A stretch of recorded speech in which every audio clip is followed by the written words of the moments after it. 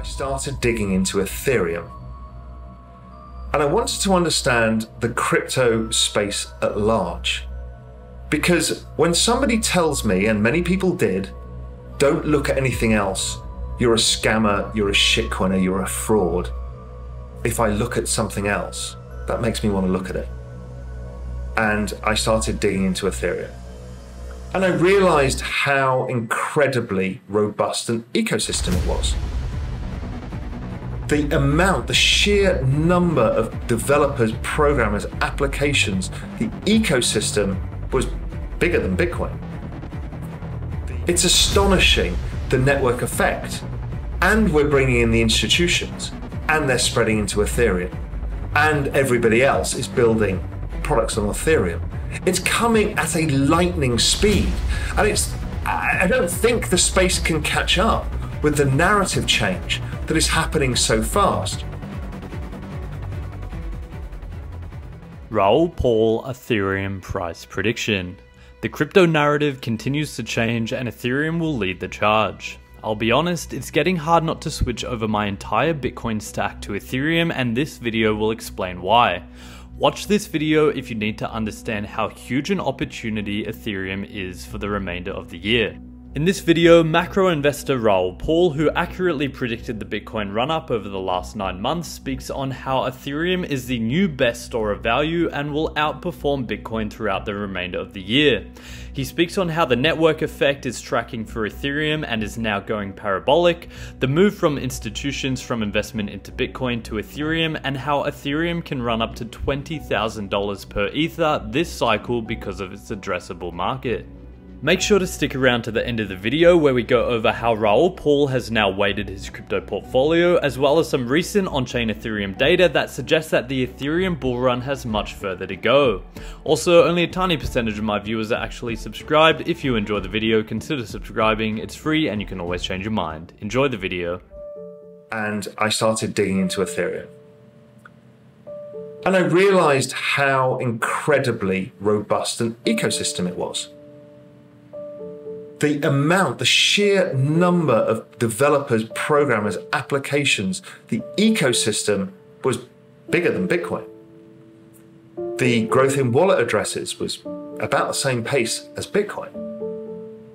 So I started thinking about that. I got sent an article by, um, I think it was the NYDIG guys, and they were looking at Metcalfe's law, and I understood Metcalfe's law um, and how it probably applied to Bitcoin. But I asked Remy and actually reached out to Santiago Velez and said, listen, can you help me develop a, a Metcalfe's law model? Just a simple one. We don't need the complex maths. We need to kind of prove that Bitcoin is basically priced in that. And maybe that stock to flow is representing that in a different way. And again, I'm not trying to refute the stock to flow model. I use it. I love it. Everything Plan B's done is a game changer. Um, and he deserves all the plaudits.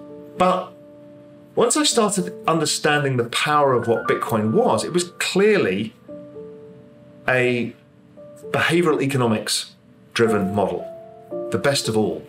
So, behavioral economics in Facebook is why Metcalfe's law exists in Facebook is because it originally you bring on your uncle, aunt, your friend from school, blah, blah, blah, and you create your network of people and you can keep in contact with them and you can communicate with them and so that became network effects. And then businesses came onto it, creating more network effects, etc.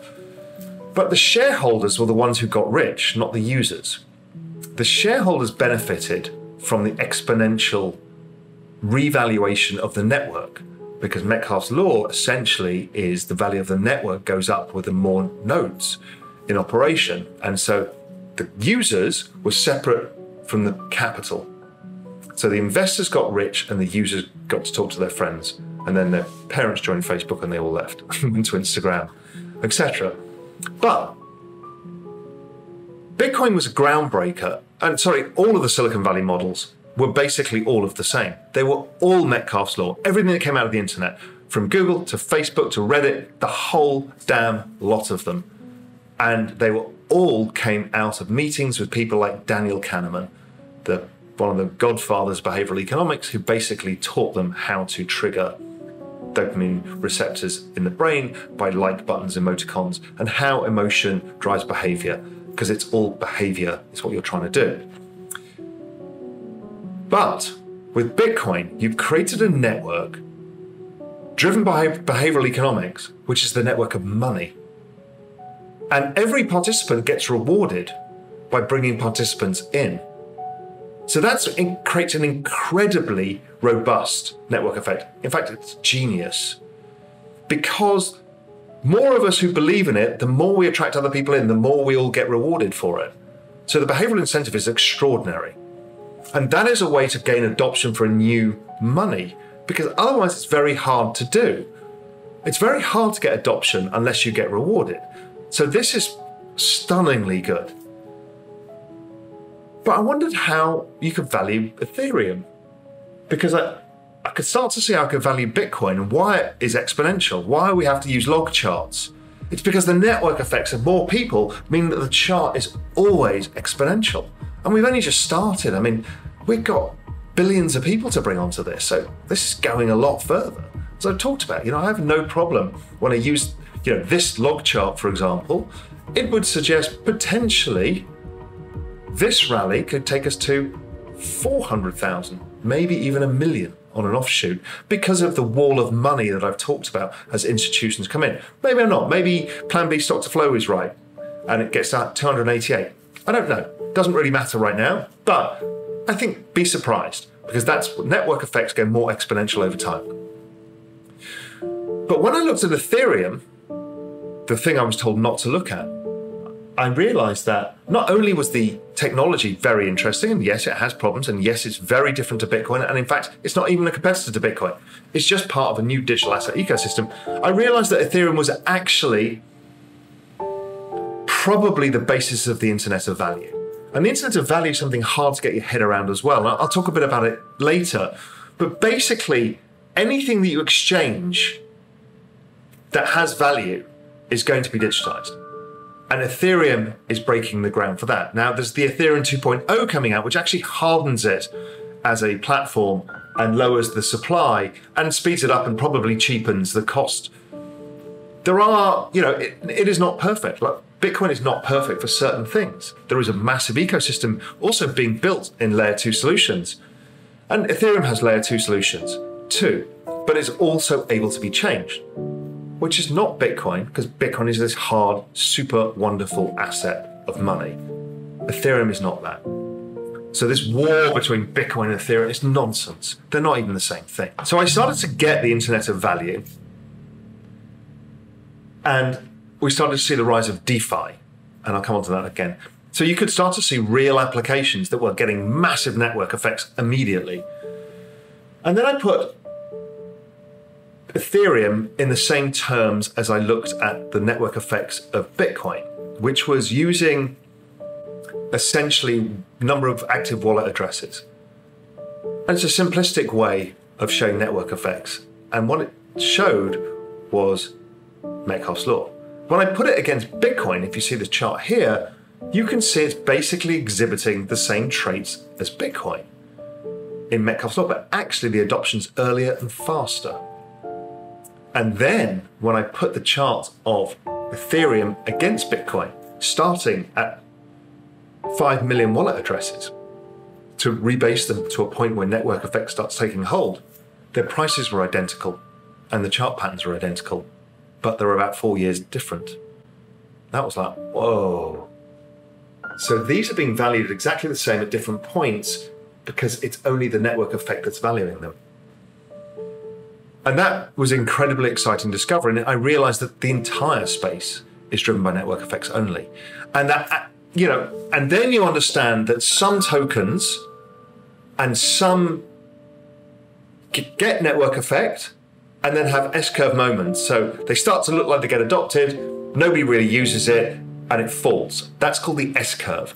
The S curve could be a failure or a pivot or a change in use, and then it goes. So we've seen that, we see that in businesses and startups all the time.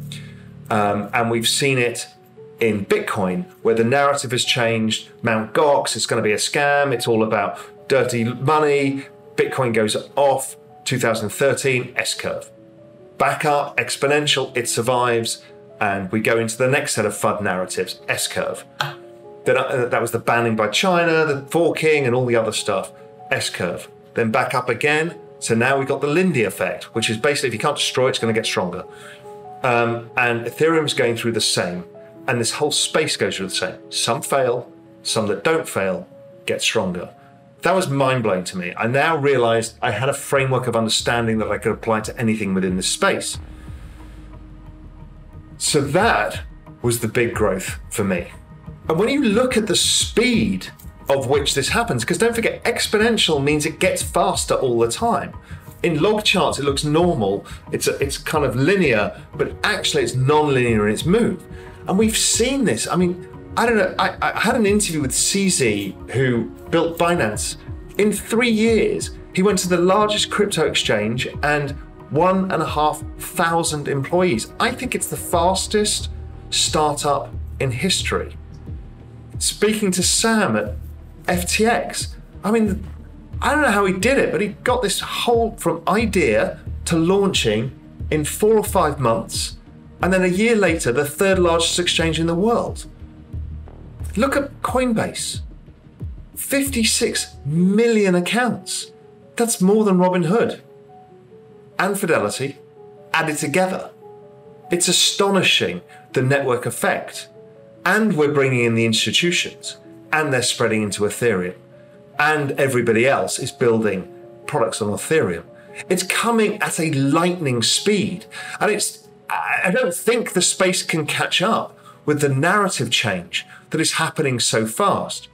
So, institutional adoption and interest is quickly coming for Ethereum like it did for Bitcoin. Ethereum has outperformed Bitcoin since inception by 250%, and looking at the total addressable market Ethereum has, aka the entire financial system, as opposed to Bitcoin's, which would be the total market cap of gold, it's hard not to switch over your entire core crypto position from Bitcoin to Ethereum. And that's exactly what Raoul Pal has gone and done. Putting his money where his mouth is, Raoul revealed on May 2nd that he now has more ETH than Bitcoin, which is huge as last time he spoke on his crypto holdings, his Bitcoin outnumbered his Ethereum by 2 to 1, so you can see the conviction he now has in Ethereum. Now, for some on-chain Ethereum data, first up from analyst Ki Young Ju, we can see some major signs that the Ethereum run is just getting warmed up. First, evidence that US institutional investors are buying into Ethereum is that the ETH Coinbase premium has been significantly increasing since early 2021. Because Coinbase facilitates the majority of institutional buying, the increasing premium is a telltale sign of increased interest from the institutional scene. Also, highlight highlighted in green is the amount of volume that has been going through in the first half of 2021, a very bullish sign that looks to continue.